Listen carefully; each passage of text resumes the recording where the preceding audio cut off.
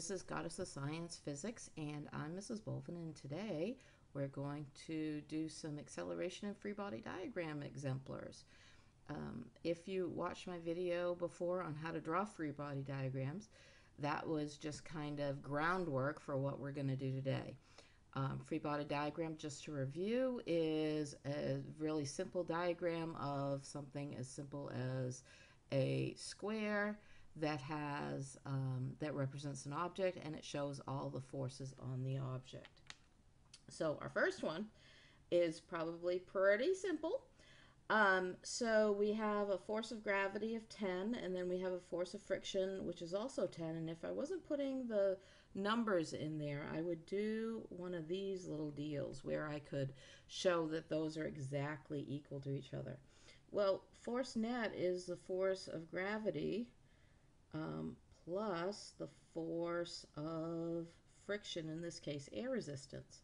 So let's put those numbers in there. So we have 10, and because the force of friction is in the opposite direction, that would be a negative 10 for the force of friction. So 10 minus 10 is equal to 0. So there's no net force on this object, as you can see from the arrows in opposite directions and equal size.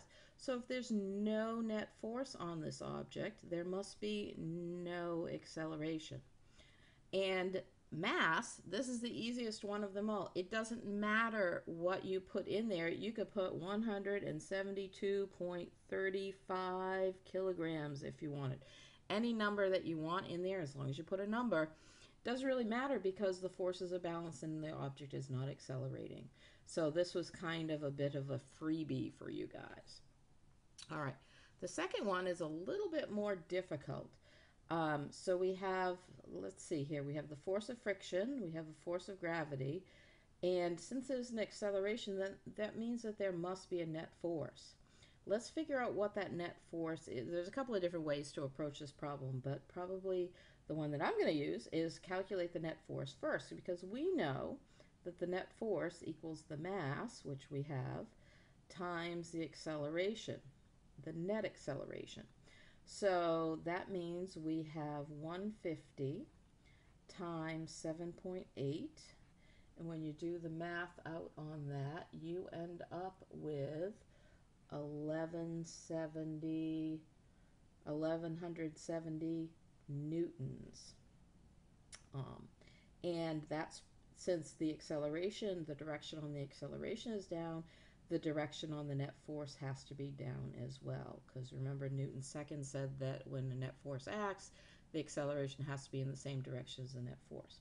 Okay, so we know what the net force is. Now we got to figure out what the force due to gravity is. And there's a couple of ways that you can approach that. You can just do a simple force of gravity equals mass times the acceleration of gravity because we do have the mass and we know what the acceleration due to gravity is. Now, you got to be a little careful here because this is not the acceleration due to gravity. Um, the acceleration due to gravity, you know, is going to be 9.81 meters per second squared. Okay, so let's do it. That way seems to be the easiest way to do it. So we're going to do force of gravity equals 150 times 9.81 and that gives you a big honking number of 1471.5 newtons. And what direction is the force of gravity? Well, that's down. Now, another way that you could have figured out what the force of gravity is, is you could have used F net equals the force due to gravity plus the force of friction. So you knew that you calculated F net is 1170 equals the force of gravity, which is what we're looking for, plus, and because it's going opposite the force of gravity, it's a negative 301.5. And when you calculate that out, you're going to add plus 301.5 to both sides. 01.5 and guess what you get? You get 1471.5. Um, so newtons. So you get the same thing, it's just two different ways of getting it, depending on how you want to look at it. Um, my personal favorite, if you're given the mass and you know the acceleration to gravity, calculate that thing using that. This seems a little bit more complex. Okay, let me slide my paper up here a little bit so we can get to the next set of problems. I gotta move the camera too, so I might be rocking your world here a wee bit. Okay, so let's look at this next one. We know that the force of gravity and the support force is going to are exactly the same. So all of the force is going to be the applied force. So the net force is going to be 4 newtons left. Now, um, we need to figure out what the acceleration is, but before we do that, we need to figure out what the mass is. And the thing that we're going to use to figure out the mass is this force due to gravity, because we know force due to gravity is mass times the acceleration due to gravity. So let's plug in, and we know that the acceleration due to gravity is always 9.81 meters per second squared. Awesome. Um, so let's plug in here. So we know 15 equals the mass, which is what we're looking for, times the acceleration due to gravity, which is 9.81. We're going to divide both sides by 9.81 to get rid of that. So that ends up being mass equals 1.53 kilograms. So now you can put that into F net equals the mass times the acceleration, which is what we're looking for, the net acceleration. So we got 4 equals 1.53 times the acceleration, divide both sides by 1.53. And the acceleration ends up being 2.61 meters per second squared. And then now let's think about the direction. Acceleration is a vector quantity, so we got to be able to say which direction the acceleration is, and Newton's second law says that it has to be in the same direction as the net force, which happens to be left. Okay, so our last one here, oh my gosh, seems like a lot of stuff going on here. Um, and it doesn't help that I kind of ran over from the previous problem. Well, let's see.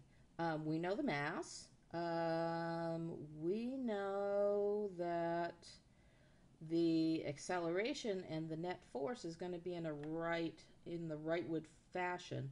So we also know that there's no acceleration either up or down. So by knowing that, we know that these two things are equal. So the support force has to be 15 newtons as well. Okay. Um, so we're really just looking for the force of friction. Okay. Um, so F net equals the mass times the acceleration.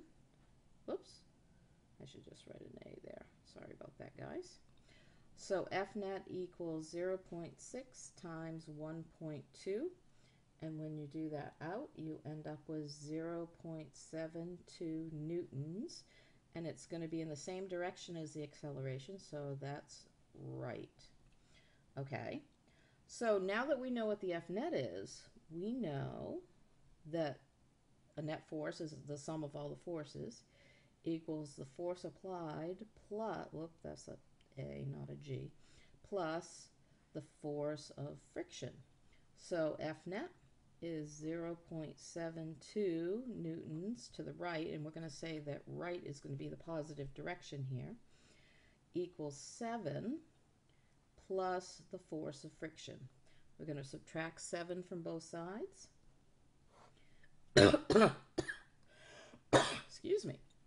So we get 6.28 newtons. Negative 6.28 newtons equals the force of friction. But really, what is that negative telling us? It's telling us not that it's a number less than zero. It's actually telling us that it's the opposite direction from the net force. So force of friction is going to be 6.28 newtons and not to the right, it's going to be to the left. So that should pretty much take care of most issues that you're going to have when you're trying to do these free body diagrams and taking them one step further to figure out what the acceleration is going to be in that particular situation. That's it for this time. Thanks for joining me. Have a great day.